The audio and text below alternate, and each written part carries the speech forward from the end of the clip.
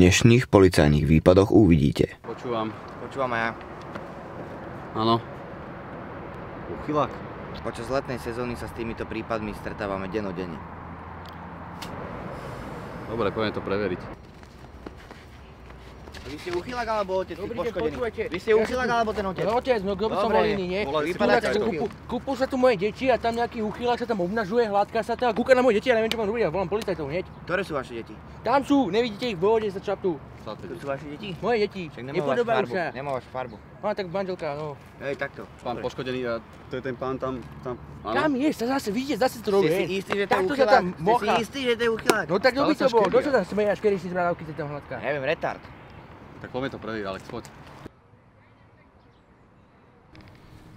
Počúvaj Miloš, je jedna vec, čo nemám rád. Vieš čo to je? Paradajková polievka. Nie. Peťofília. Je to špinavý peťofíl. Zvrat!